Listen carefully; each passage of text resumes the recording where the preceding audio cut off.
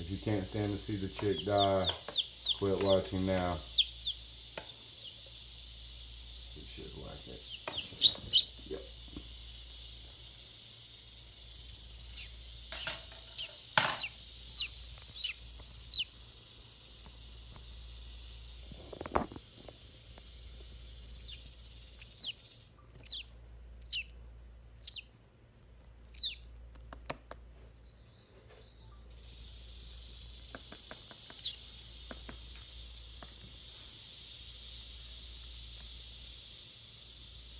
West African gaboon, Bitis rhinoceros that I acquired from Underground Reptiles. Shout out to Underground Reptiles.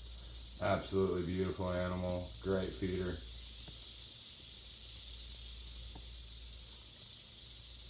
Spectacular speeding feeding response.